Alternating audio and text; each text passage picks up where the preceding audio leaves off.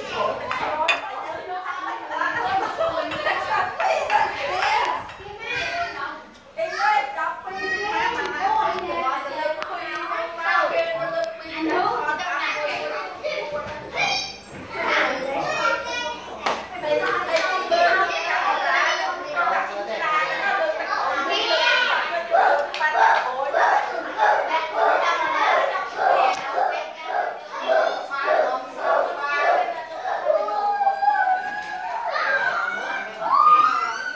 rồi cài chơi nhau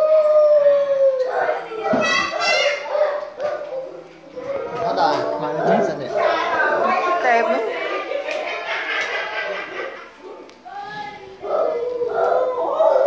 riêng